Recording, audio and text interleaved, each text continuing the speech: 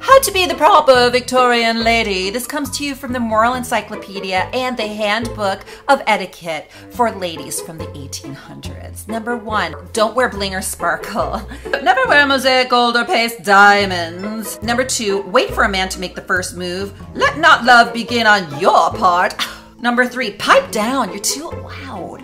Let your conversations be consistent with your sex and your age. Number four, never be overly flamboyant. So if you see a purse you like or you see a dress you like, don't show that. Just be like, oh my gosh, there's my favorite. There's my favorite Louis Vuitton. There's my favorite Jimmy Choo's. Do not do that. Do not sing more than one or two songs in a row. In other words, don't do the thing you do on TikTok. Avoid dirty jokes. Be disgusted when they say a joke that's funny but disgusting.